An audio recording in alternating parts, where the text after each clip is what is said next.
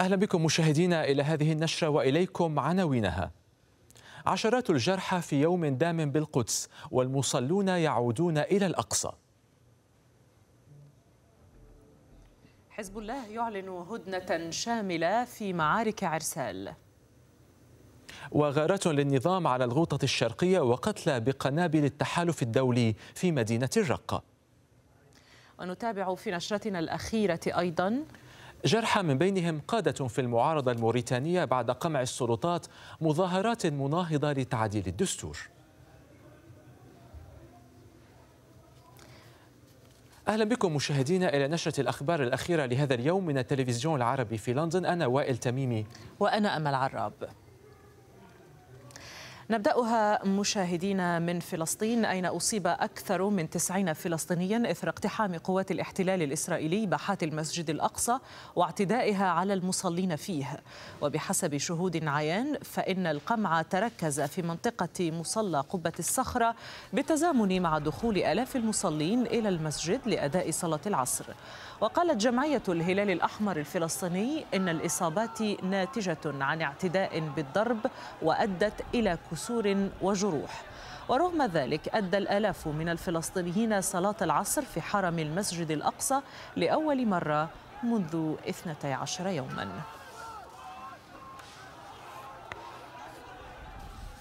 وعدوا فأخلفوا وأظهروا للعالم رضوخهم لمطالب آلاف الفلسطينيين المرابطين بمحيط المسجد الأقصى. لكن جنود الاحتلال أصروا على تعكير مزاج المقدسيين. حيث اندلعت مواجهات بين شبان فلسطينيين وقوات الأمن الإسرائيلية في باحة المسجد الأقصى فيما كان آلاف المسلمين يدخلون المسجد بعد انقطاع لأسبوعين إثر إزالة إسرائيل كل الإجراءات الأمنية المستحدثة في محيط الحرم القدسي.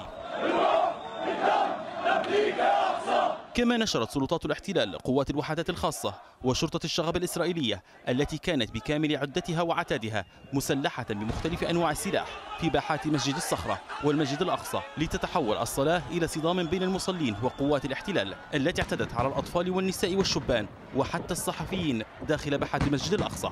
كما قامت تلك القوات بإنزال العلم الفلسطيني من على سطح المسجد القبلي.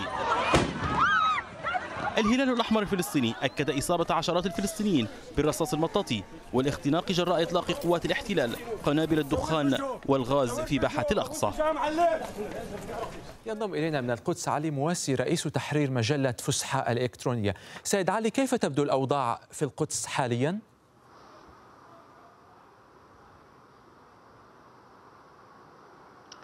تحية آه، آه، لكما. آه، قبل أن أجيبك على سؤالك لابد من التأكيد على مسألة بأن ما يشهد اليوم في القدس والمسجد الأقصى ما أحرزه الفلسطينيون حتى اليوم الفلسطينيون وحدهم وأهل القدس وحدهم من حققوا ذلك ولا ينسب إنجازهم لا لأي زعيم ولا لأي ملك عربي. هناك البعض عبر إطلاق هاشتاجات معينة مثل الأقصى في قلب سلمان يدعون بأن ما أحرز وأنجز ينسب إلى قيادات وزعامات. هذا غير صحيح. الإرادة الشعبية المقدسية يعني القضية لو سمحت لي هي التي القضية ليست هي التي دفعت القضية الاحتلال الإسرائيلي نعم. القضية ليست تويتر هناك بيانات رسمية خرجت من الرياض ومن أبو ظبي تنسب نعم. ما جرى اليوم في القدس ليس لنضالات الشعب الفلسطيني نعم. وإنما للأنظمة العربية صحيح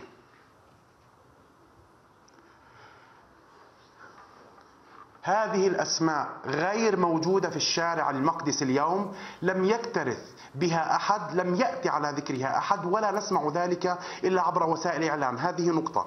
النقطة الثانية أن ما شهدناه اليوم من قمع وحشي تجاه المرابطين والمصلين لم يكن فقط إيه، إيه، من أجل إيه، أن تحاول دولة إسرائيل أو قوات الاحتلال الإسرائيلي أن تفرض سيطرتها على المكان بل هي كانت رسالة أيضا موجهة للمجتمع الإسرائيلي أراد أن يوجهها. بيبي نتنياهو الذي بدأ حتى في أوساط اليمين وأوساط المستوطنين بنقده حتى صحيفة إسرائيل هيوم الصحيفة التابعة له الداعمة له طيلة الوقت اتهمته آه، آه، يوم أمس بأنه أدار المعركة بشكل فاشل أراد بنيامين نتنياهو أن يستعرض اليوم العضلات لكن رد فعل الشارع الفلسطيني بعشرات الآلاف ممن استطاعوا أن يدخلوا المسجد الأقصى والآلاف ممن لم يستطيعوا الدخول وهذا آه، لابد من الإشارة إليه أن هناك الآلاف لم يستطيعوا الدخول أراد الشعب الفلسطيني اليوم تصدى لهذه المحاولات وحتى الآن حتى هذه اللحظات ما زالت المواجهات مستمرة. وهناك شهيد سقط الآن. تحاصر أستاذ الآن علي مواسي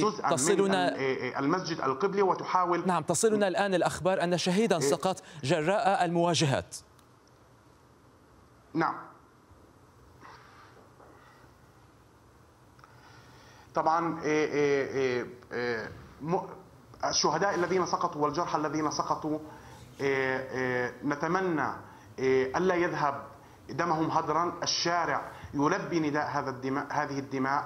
الشارع الفلسطيني يقدر عظيما تضحي التضحيات التي يقدمها جزء كبير من أبناء شعبنا. ألف رحمة على الشهداء ونتمنى الشفاء لكل الجرحى والحرية للمعتقلين. نعم. لابد من التأكيد أيضا على أن ما تشهده مدينة القدس اليوم هو ليس حادثا منعزلا عن السياق المقدسي المستمر منذ عام 2014 حتى اليوم. هذا من الضروري التأكيد عليه. منذ هبة محمد أبو خضير عام 2014 حتى مرورا بعام 2015 هبة القدس والأقصى التي انطلقت بعد تغيير إيه، الوضع القائم أو التقسيم الزمني الذي الذي حاول الاحتلال أن يفرضه. حتى اليوم نحن مدينة القدس تعيش هبة تلو الهبة تعيش انتفاضة مستمرة متقطعة تعلو إيه، إيه، وتخفت لكنها مستمرة. مدينة تتحمل وزرا كبيرا في الدفاع عن الشعب الفلسطيني وعن الأمة العربية. أه، سيد علي فقط أه، ومشاهدينا الكرام أود أن أوضح بأن الأخبار تصلنا الآن. نعم نعم نعم. اسمح لي فقط سيد علي مواسي أن أوضح مشاهدينا بأن أه، تصلنا الآن الأخبار. وبينما نحن نتحدث بأن قوات الاحتلال الإسرائيلي تقتحم الآن ساحات المسجد الأقصى حيث المرابطون والمعتصمون الفلسطينيون ما زالوا يتجمعون وتلقي قنابل الغاز على المصلين والمتجمعين هناك وأن شهيدا سقط جراء هذه الاشتباكات سيد علي مواسي آه، غدا الجمعة والاشتباكات مستمرة ماذا نتوقع يوم غد؟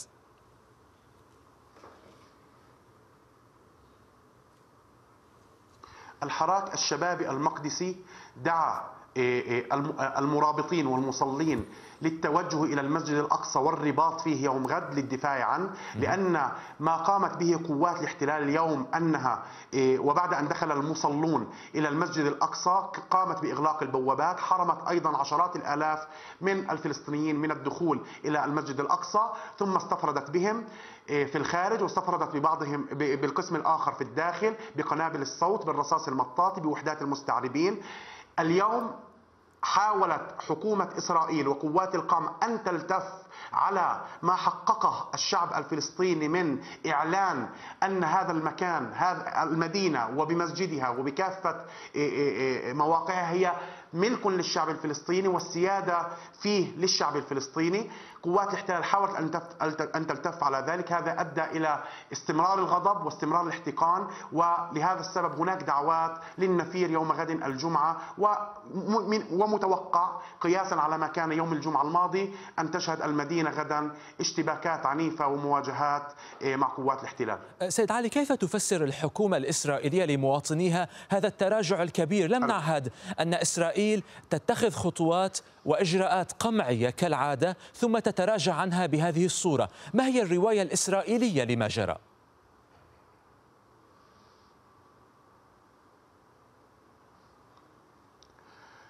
الرواية الإسرائيلية إيه، إيه، لما جرى يعني أراد بنيامين نتنياهو أن ينزل عن شجرة إيه، إيه، على عليها فلجأ إلى بعض الأنظمة إيه، العربية. هناك حديث عن صفقة جرت بين النظام الأردني وحكومة إسرائيل برعاية أمريكية حول تخطي هذه المسألة.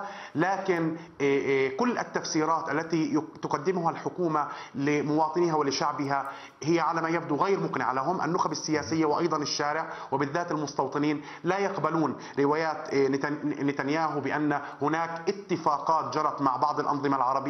لإنشاء إنشاء أنظمة مراقبة على مدار ستة شهور قادمة تكلفتها 100 مليون شيكل هذا هو التفسير الذي يحاول أن يقدمه نتنياهو. لكن منذ ليلة أمس مع تشييع جثامين شهداء أم الفحم الثلاثة محمد محمد جبارين ومحمد جبارين ومحمد جبارين كانت هناك رسالة بأن ما تم التوفق التوصل إليه مع بعض الأنظمة العربية بالالتفاف على قرارات الشعب الفلسطيني.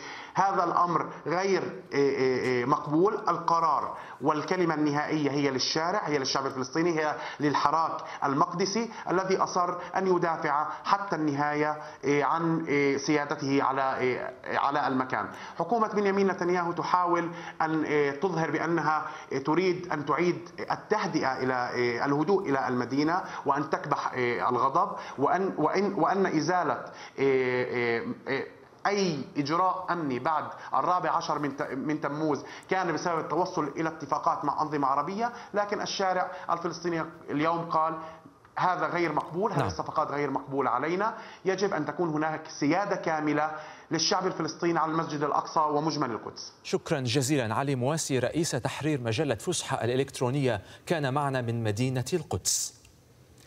دعا رئيس كتلة حركة المقاومة الإسلامية حماس في المجلس التشريعي محمود الزهار الفصائل الفلسطينية لدراسة تشكيل جبهة وطنية تواجه ما وصفها بمؤامرات العدو ضد القدس والأقصى. نعم ومن جانب آخر دعا القيادي المفصول في حركة فتح محمد دحلان في أول مشاركة له في جلسات المجلس التشريعي الفلسطيني منذ الانقسام الفلسطيني عام 2007 إلى اجتماع قيادي موسع في القاهرة يحضره قادة فصائل العمل الوطني والإسلامي لاتخاذ ما يلزم من قرارات لحماية القدس ودعم أهلها كما قال. هو اللقاء الأول للرجل تحت قبة البرلمان. القيادي المفصول من حركة فتح محمد دحلان يتحدث من دولة الإمارات عبر تقنية الفيديو كونفرنس عن القدس وغزة لأول مرة بوصفه نائبا في المجلس التشريعي عن حركة فتح وبحضور نواب كتلة التغيير والإصلاح كتلة حماس البرلمانية. فإنني أدعو إلى تجاوز كل الخلافات الداخلية واتخاذ ما يتوجب من إجراءات لإنهاء الانقسام مما يستوجب خطوات عاجلة. اولا عقد الاجت... عقد اجتماع للقياد للإطار القيادي الموسع في القاهرة. يحضره كافة فصائل العمل الوطني والإسلامي والشخصيات الوطنية الفاعلة المستقلة لاتخاذ ما يلزم من قرارات لحماية ودعم القدس ولإنهاء الانقسام فورا نواب حماس أكدوا على أن الدعوة للجلسة شملت كل الكتل البرلمانية فيما حضر فقط نواب عن حماس وفتح وبعض النواب المستقلين. دحلان أن يشارك فيها هو جزء من حركة فتح بغض النظر عن الانقسامات والانشطارات لكن هو جزء من حركة فتح. كان كان كنا نود أنه كل حركة فتح يعني بأوامر من الرئيس آه، عباس رئيس حركة فتح أن تشارك في هذه الجلسة وأنه كل الشعب كل آه، الكتل البرلمانية تشارك. ولكن للأسف الشديد ما زالت بعض التجاذبات السياسية تحول دون يعني العمل معا. يفهم فلسطينيا أن هذه الجلسة بند من بنود اتفاق حماس دحلان الذي جرى خلال الأسابيع الماضية في القاهرة وما حدث اليوم بمثابة تتويج وإعلان رسمي بغطاء قانوني. ونأمل أن تشكل هذه الجلسة فاتحة خير ومدخلا أساسيا لإعادة الاعتبار للسلطة التشريعية والبرلمان الفلسطيني. وفيما تتباين آراء الفلسطينيين في غزة بشأن دور دحلان في هذه المرحلة إلا أن هناك ما يشبه الاتفاق حول ما قد تقدمه تفاهماته مع حماس خلال الأيام القادمة في ملفات معبر رفح البري وأزمة الكهرباء وغيرها. يجري الحديث بقوة عن قرب موعد زيارة قيادات محسوبة على محمد دحلان من القاهرة إلى قطاع غزة خلال الأيام القادمة. فيما يبدو أن الأمر رهان التقدم في ملف المصالحة المجتمعية التي بدأت عملها في القطاع منذ عدة أيام. باسل خلف التلفزيون العربي قطاع غزة. ونشرتنا متواصلة وفيها بعد قليل. لبنان. حزب الله يجنح إلى السلم.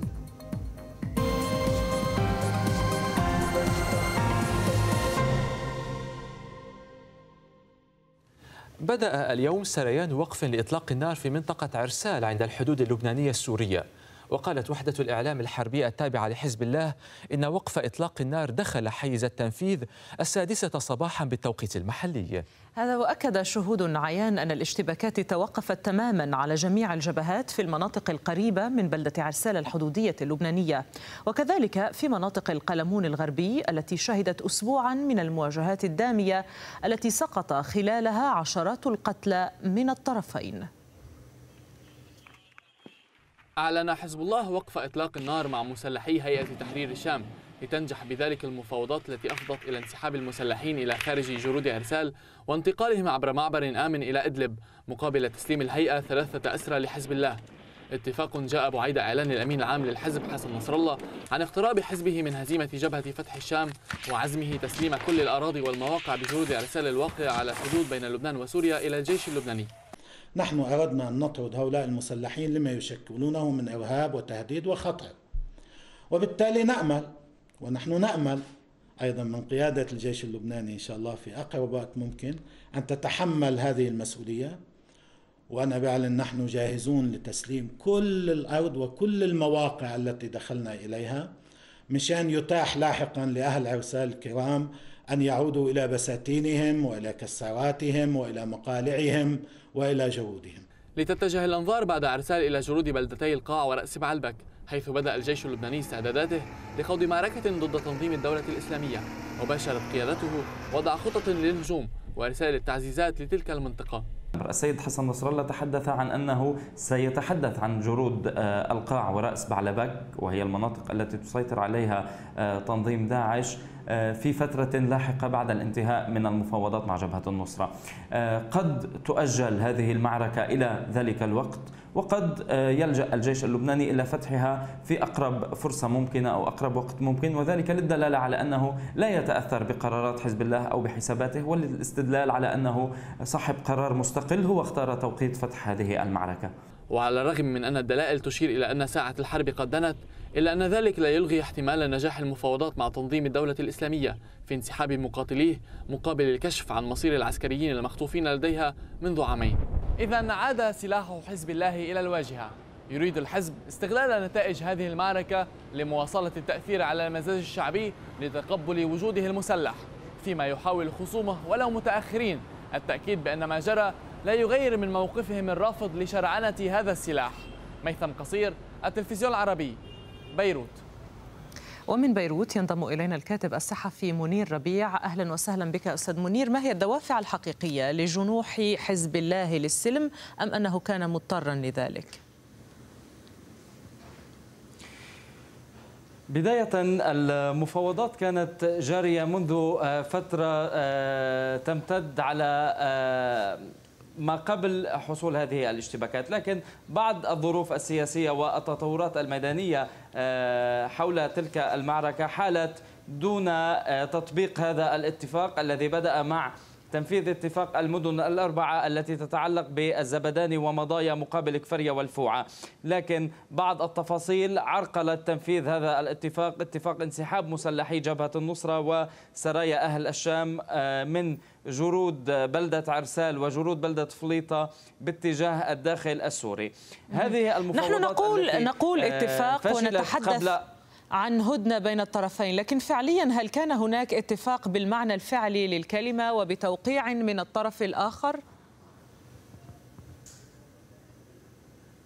نعم هذه المفاوضات آه، لا تؤدي إلى اتفاقات موقعة تؤدي إلى اتفاقات ميدانية هي عمليا ليست بين جم... آه، بين دول أو بين جهات سياسية رسمية هي بين آه، حزبين أو بين حزب لبناني يريد تحرير بعض الأراضي اللبنانية من هذه المجموعات كما يدعي مقابل مجموعات تثور على النظام النظام السوري منها ما هي معتدلة وتتبع للجيش السوري الحر ومنها ما هي تابعة لجبهة النصرة وبالتالي لا يمكن الخروج بتوقيع اتفاق رسمي بين الطرفين. هذه الاتفاقات غالبا ما تحصل ميدانيا أي تنسحب جبهة النصرة وينسحب مسلحوها باتجاه الداخل السوري مقابل فتح ممر آمن لهم من قبل حزب الله مقابل أن يطلقوا سراح عدد من أسرى الحزب الذين يحتفظون بهم منذ معارك سابقة بالإضافة إلى آه، جثث لبعض المقاتلين وبالتالي لا يمكن الحديث عن اتفاق رسمي في هذا المجال خصوصا طيب أن بعض الجهات غير الرسمية رسميا تدخل فيما بعد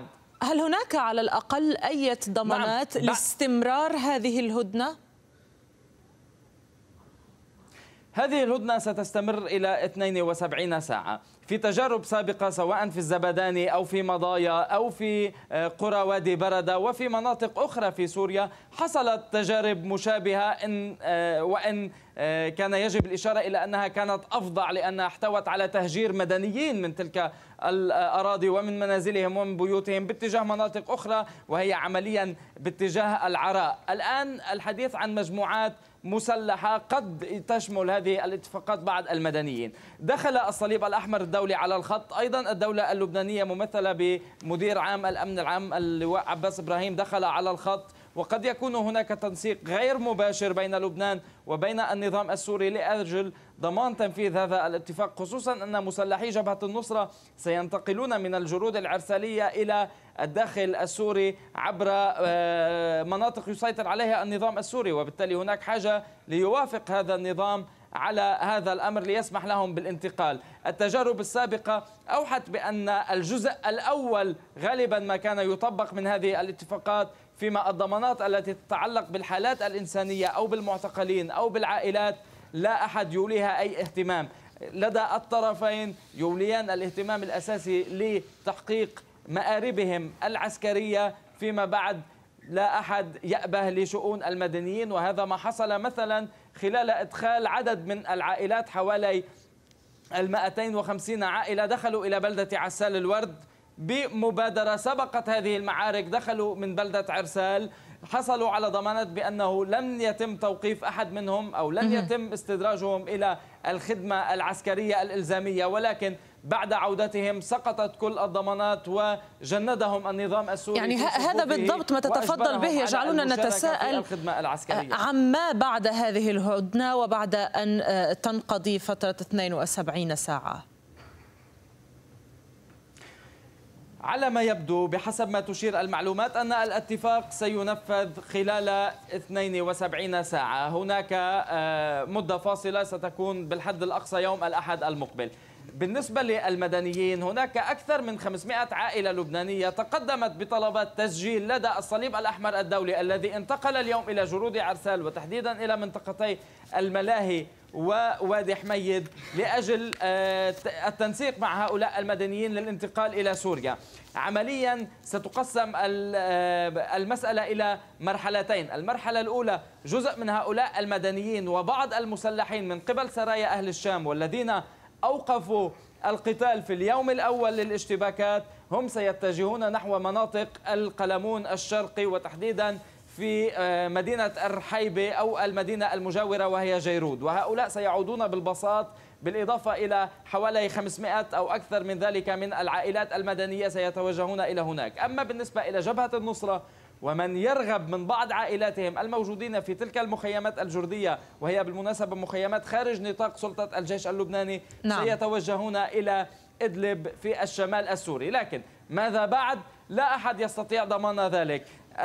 سرايا أهل الشام يتحدثون عن أنهم سيعودون إلى القلمون الشرقي بسلاحهم الفردي. هناك شكوك حول ذلك بأن يقبل النظام وحزب الله بالعودة بسلاحهم. كما أن هناك شكوك وتخوفات لدى بعضهم من أن آه، وربما قد يندرج كل هذا تحت عنوان التقسيم الفعلي لسوريا والذي يقول بعض المراقبين بأنه بدأ بالفعل منذ أن بدأت معركة عرسال. شكرا جزيلا لك الكاتب الصحفي منير ربيع. كنت معنا من بيروت. في موضوع آخر فرق الأمن الموريتاني بالقوة. مسيرات احتجاجية دعت لها قوى المعارضة تعبيرا عن رفضها التعديلات الدستورية. وأسفر القمع الذي طال بعض قادة الأحزاب عن دخول بعض منهم المستشفيات. ينضم إلينا من واكشوت محمد جميل ولد منصور رئيس حزب التجمع الوطني للإصلاح والتنمية المعارض الذي كان مشاركا في المسيرة التي تعرضت للقمع من قبل قوات الأمن الموريتانية. هذه المسيرة معروف أنها كانت تعارض التعديلات الدستورية. سيد آه، ولد منصور أولا حمدا لله على السلامة. آه، لماذا برأيك لجأ آه، النظام الموريتاني إلى قمعكم بالقوة هذه المرة؟ بسم الله الرحمن الرحيم. آه، شكرا جزيلا. حينما تلجأ الأنظمة إلى هذا النوع من الاستعمال الوحشي للقوة ضد المتظاهرين السلميين فمعنى ذلك أنها تحس بضعف الحجة وبأن الشعب لا يتجاوب مع ما تقول وتطرح.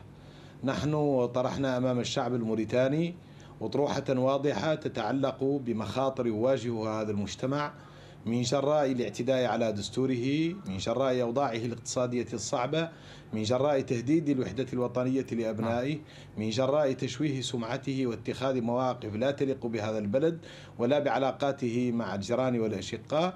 طرحنا هذه الشعارات وطرحنا هذا الخطاب تجاوب معنا الشعب الموريتاني.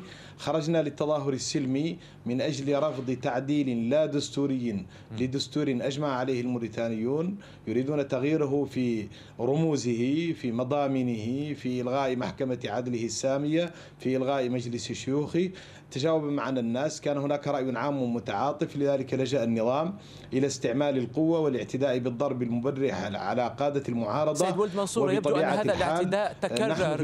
يعني تفيد, تفيد الأنباء الآن قوة أساسية. تفيد الأنباء الآن مشاهدينا الواردة من واكشوت أن الأمن الموريتاني واصل في الواقع قمع المظاهرات التي تجددت بدورها وأن القيادي محمد ولد غداء القيادي في المعارضة يقبع الآن في أحد المستشفيات بعد تعرضه للضرب سيد ولد منصور هل تقلقكم استمرار هذه الممارسات؟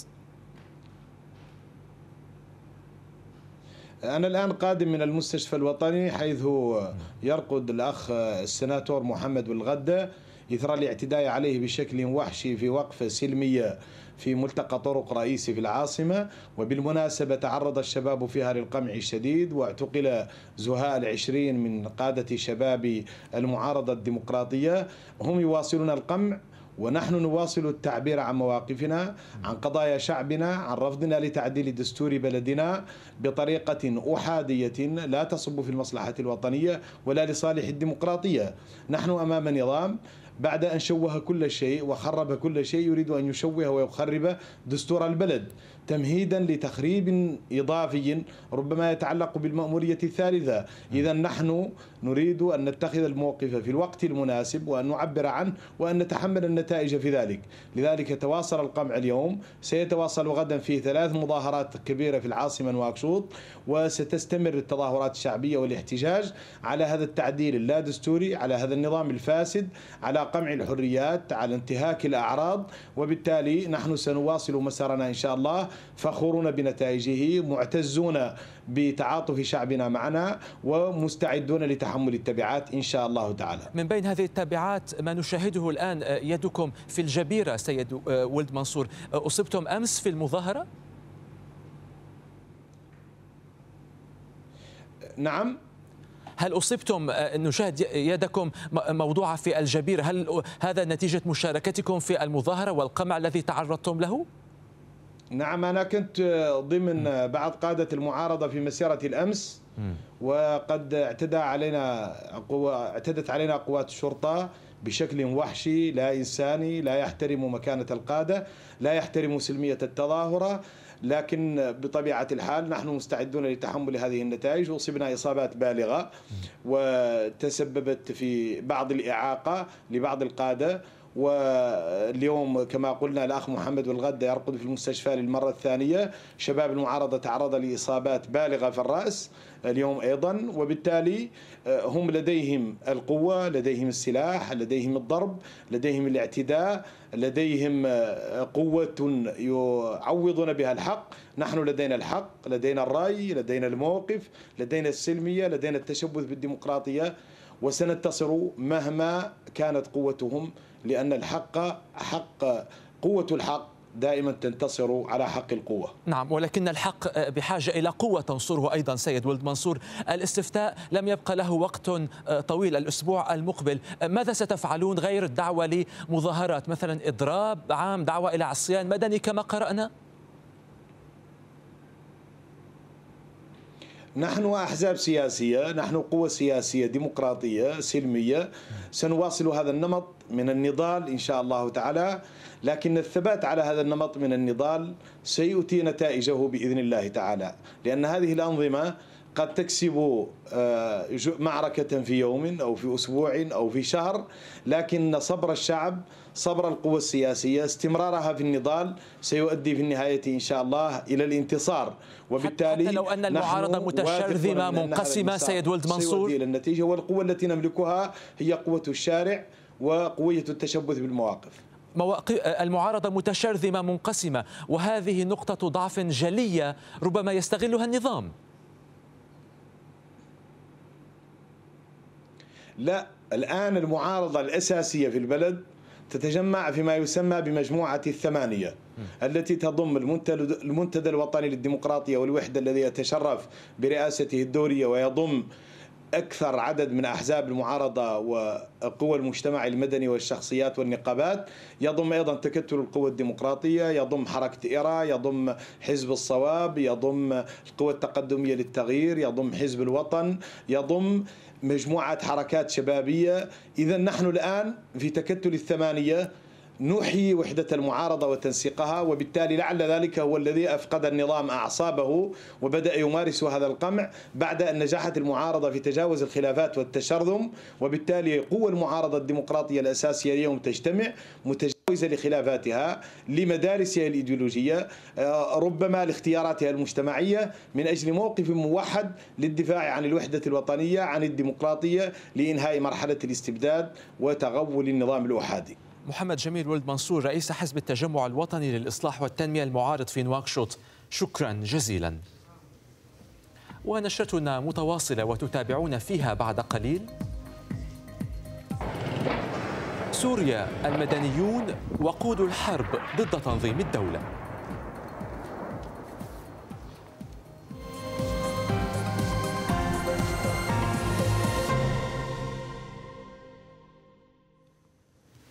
قتل 29 مدنيا على الأقل في سلسلة غارات جوية شنتها طائرات التحالف الدولي على مدينة الرقة معقل تنظيم الدولة الإسلامية في سوريا والتي ما زال التنظيم يسيطر على نصفها بحسب ما أعلن المرصد السوري لحقوق الإنسان. وقال المرصد إن غارات التحالف الدولي الذي تقوده الولايات المتحدة في سوريا والعراق أسفرت عن مقتل 29 مدنيا بينهم ثمانية أطفال على الأقل في المدينة الواقعة في شمال سوريا. وفر عشرة آلاف المدنيين من العنف المتصاعد في الرقة. من جانب آخر غارت طائرات النظام السوري على مناطق واسعة في ريف دمشق ما تسبب في سقوط عدد من القتلى والجرحى. لغة النار هي اللغة الواحدة التي يتعامل بها النظام السوري مع شعبه. فالنظام السوري لم يبدي أي احترام لأي هدنة أو اتفاق لوقف النار منذ اندلاع الثورة عام 2011 عشرات الغارات الجوية وقصف مدفعي ومحاولات مستمرة لاقتحام مناطق بالغطة الشرقية مشمولة بعدة اتفاقات حالية لوقف النار. إذ قتل مدني وجرح آخرون جراء قصف جوي ومدفعي استهدف حي جور بالعاصمة دمشق. كما تزامن ذلك القصف مع محاولات قوات النظام وميليشياته الأجنبية اقتحام حي جوبر وسط مقاومة عنيفة من قبل فصائل المعارضة. وفي ريف دمشق وبالتحديد في غوطتها الشرقية فقد تعرضت مدن وبلدات زملكة وعين ترمى وأوتايا لقصف مكثف أسفر عن جرح مدنيين ودمار في المنازل.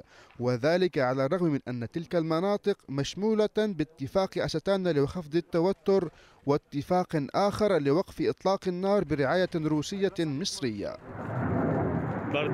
وليس الحال بأفضل في ريف حمص الشمالي المشمول أيضا باتفاق خفض التوتر إذ قتل طفل وجرح آخرون جراء قصف قوات النظام مدينة تلدو بالمدفعية الثقيلة.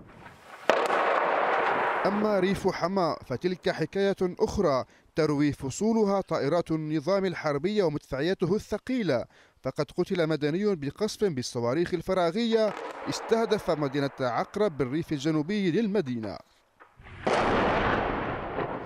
كما سقط عدد من الجرحى بقصف لقوات النظام استهدف مدينة مورك بريف حماة الشمالي بعشرات القذائف والصواريخ موقعا إصابات في صفوف المدنيين ومحدثا دمارا في المنازل المدمرة أصلا. تتابعون معنا بعد قليل. تونس القانون يحمي النساء المعنفات.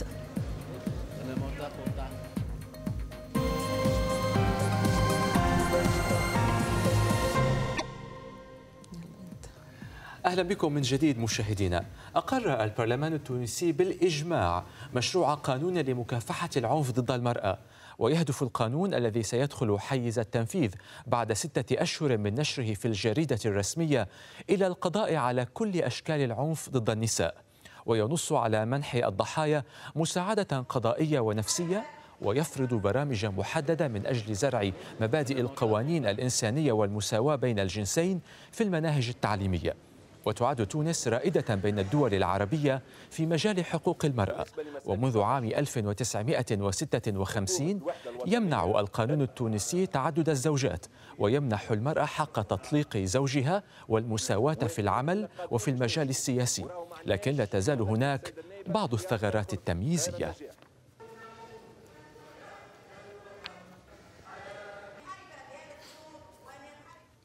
أعلن وزير الخارجية المصري سامح شكري أن دول الحصار الأربع لن تتراجع عن شروطها المقدمة للدوحة من أجل رفع الحصار. جاء ذلك خلال جلسة محادثات موسعة بين شكري ونظيره الفرنسي جون إيف لودريان في ختام زيارة بدأها الثلاثاء للعاصمة باريس بحسب بيان للخارجية المصرية. قال وزير الخارجية القطري الشيخ محمد بن عبد الرحمن آل ثاني إن واشنطن ترغب في إنهاء الأزمة الخليجية وإن دول الحصار لم تتفاعل مع المقترحات الأمريكية بشأن الأزمة. وجاءت تصريحات وزير الخارجية القطري إثر لقاء جمعه بواشنطن مع نظيره الأمريكي ريكس تيلرسون حيث قال إنه بحث المقترحات الأمريكية بشأن الأزمة وإن الدوحة تتعامل معها بإيجابية. وكانت وزارة الخارجية الأمريكية قالت في وقت سابق إن واشنطن تنتظر جلوس أطراف الأزمة الخليجية على طاولة الحوار مضيفة أن الحوار المباشر بين أطراف الأزمة سيؤدي إلى دفع فرص الحل قدما.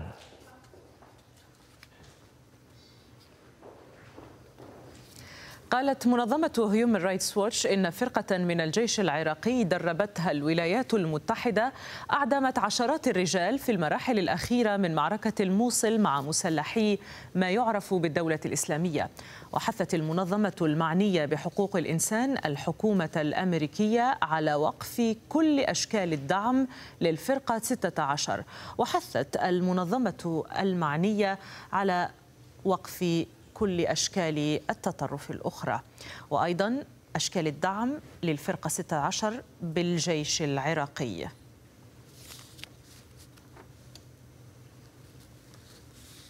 في الشأن العراقي أيضا يعاني سكان مدينة الموصل وخاصة القاطنين في جانبها الأيمن من أوضاع صحية سيئة بعد دمار البنى التحتية للمؤسسات الصحية والمشافي جراء الحرب. وكانت المدينة شهدت معارك بين القوات العراقية وعناصر ما يعرف بتنظيم الدولة الذين اتخذوا من تلك المؤسسات مقارا عسكريا لهم. المزيد في تقرير شفيق عبد الجبار. وضع صحي مزر تشهده مدينة الموصل بعد انتهاء العمليات العسكرية لاستعادتها. المجمع الطبي غربي المدينة الذي كان يضم كلية الطب ومستشفى ابن سينا والجمهوري وطب الأسنان كلها أصبحت ركاما فالحرب أتت على تلك المؤسسات الصحية بالكامل.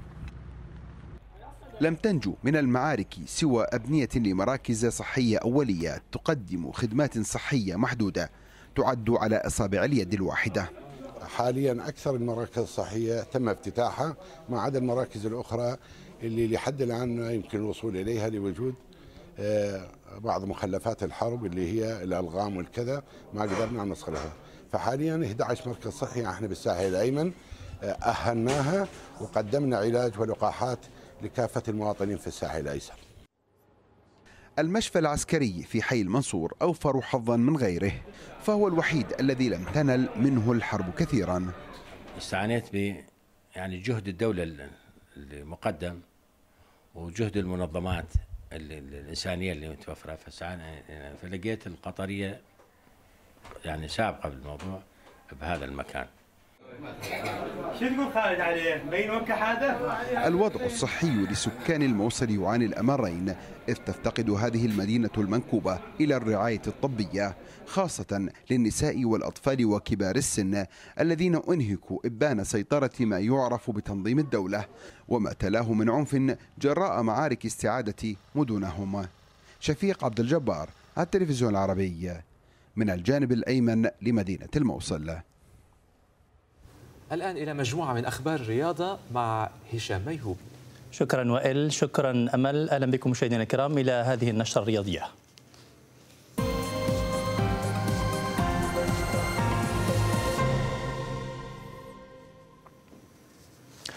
أعلن الاتحاد الأوروبي لكرة القدم يوفا أن نائب الرئيس أنخيل ماريا فيار قدم استقالته. الفيار البالغ من العمر 67 عاما يعد أحد أقوى المسؤولين في كرة القدم عالميا خلال العقدين الأخيرين. يقبع حاليا في السجن في إسبانيا مع مسؤولين إسبان آخرين من بينهم ابنه غوركا.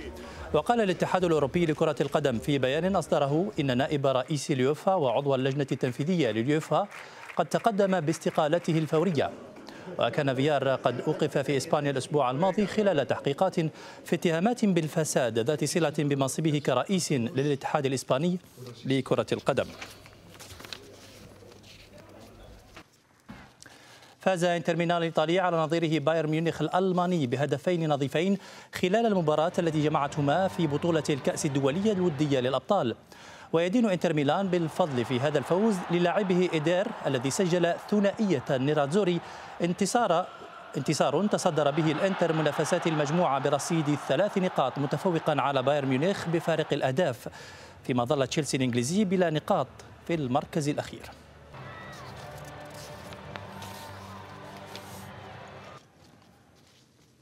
بدوره فاز مانشستر سيتي الانجليزي على ريال مدريد الإسباني بأربعة أهداف لهدف في لوس أنجلوس في مباراة ودية ضمن كأس الأبطال الودية أو الدولية المقامة في الولايات المتحدة. وكان لدى بروين يدا في إحراز فريقه للأهداف الثلاثة الأولى التي جاءت في الشوط الثاني حيث ساهمت الضربة الركنية التي لعبها في إحراز نيكولاس أوتاميندي الهدف الأول في الدقيقة الثانية والخمسين قبل أن يصنع الهدفين الثاني والثالث لرحيم ستيرلينغ وجون ستونز. في الدقيقتين التاسعة والخمسين والسابعة والستين. وحسم السيتيزن الانتصار بالمباراة في الدقيقة الثانية والثمانين عندما سجل البديل إبراهيم دياز الهدف الرابع. فيما أحرز أوسكار رودريغيز هدف حفظ ماء الوجه لريال مدريد في الدقيقة الأخيرة.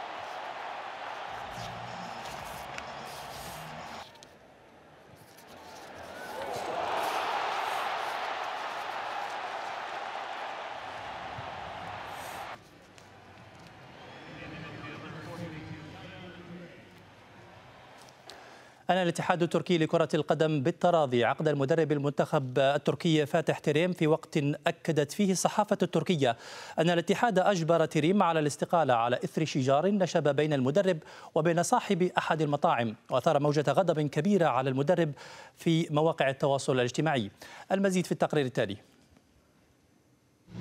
بعد مرور خمس سنوات على تعيينه مدربا للمنتخب التركي الأول أصدر الاتحاد التركي لكرة القدم قرارا بالانفصال عن المدرب الشهير فاتح تريم. تريم صاحب المسيرة الرائعة في عالم كرة القدم في تركيا والذي قاد الأتراك إلى نصف نهائي يورو 2008 والذي أشرف على المنتخب التركي مرتين أحدهما في التسعينيات والأخرى في الألفية الجديدة. تاريخ وإنجازات لم تشفع لتريم. من أجل منع إقالته على خلفية تورطه في عراك في أحد المطاعم في تركيا بسبب خلاف مادي. تريم نفى في البداية دخوله في هذا العراك إلا أن مواقع التواصل الاجتماعي نشرت صورا للمعركة كما وصفتها الصحف التركية. وأفادت أيضا أن الخلاف يتعلق بأمور مالية تتعلق بصاحب المطعم الخاص وصهري فاتح تريم الذي يملك مطاعم منافسة. وبعد أن اشتعل الغضب تجاه المدرب على مواقع التواصل لم تكن هناك خيارات أخرى أمام الاتحاد التركي سوى الاتفاق مع تريم على تقديم استقالته فالانفصال هو الحل الأفضل.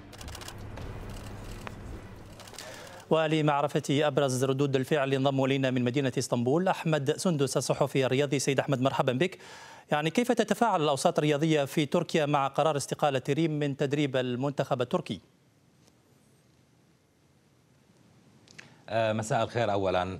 آه، حقيقة الشارع التركي منقسم ما بين مؤيد لاستقالة آه، فاتح تريم وبين معارض لهذه الاستقالة.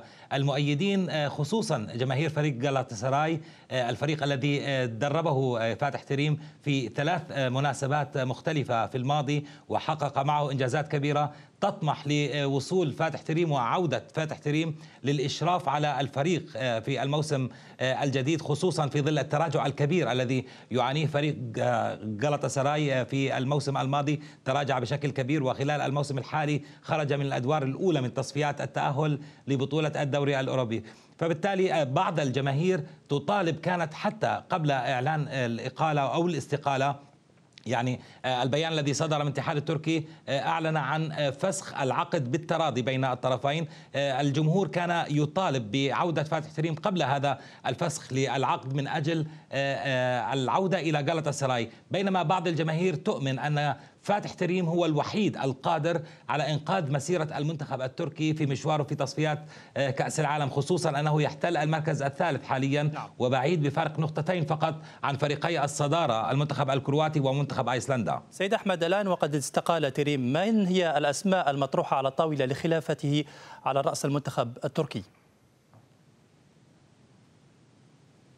يعني حتى الآن لا يوجد أسماء محددة. هناك حديث عن المدرب لوتشيسكو آه، بأنه آه، قادم لتدريب المنتخب التركي. هناك حديث أيضا عن مدربين أتراك ومطالبات كثيرة بأن يتولى تدريب المنتخب التركي. مدرب آه، تركي يعرف اللاعبين ويعرف أساليب اللاعبين و يعني خواص اللاعب التركي بشكل عام بعد فشل تجارب كثيرة مع مدربين كبار من الخارج وآخرهم كان جوس هيدينك المدرب الهولندي الذي لم يقدم الكثير مع المنتخب التركي. هناك اقاويل عن عبد الله افجا المدرب الذي أقيل قبل فاتح تريم نعم. آه، من تدريب المنتخب التركي. يحقق نجاحات كبيرة رفقة فريق بشاك شهير وقاده إلى مركز الوصافة في بطولة الدوري التركي وتأهل معه إلى الأدوار آه، الإقصائية في دوري أبطال أوروبا. هناك حديث أيضا عن أيكوت كوجمان المدرب الجديد لفريق فنرباتشا وأيضا عن ارتوغرول سلام المدرب الذي درب آه، فريق غلطة سراي وبورصة سابقا. أحمد سندس الصحف الرياضي كنت معنا من إسطنبول. شكرا جزيلا لك. والآن عودة إلى الزميلين أمال ووائل لاستكمال ما تبقى من الأخيرة. شكرا هشام. العفو. نستذكر مشاهدينا وإياكم أبرز ما جاء في الأخيرة. عشرات الجرحى في يوم دام بالقدس والمصلون يعودون إلى المسجد الأقصى. حزب الله يعلن هدنة شاملة في معارك عرسال. غارات للنظام على الغوطة الشرقية وقتلى بقنابل التحالف الدولي في الرقة. جرحى من بينهم قادة في المعارضة الموريتانية بعد قمع السلطات لمظاهرات مناهضة لتعديل الدستور. وبهذا مشاهدينا نصل إلى ختام نشرتنا الأخيرة لهذا اليوم. شكرا لكم وإلى اللقاء. كونوا بخير.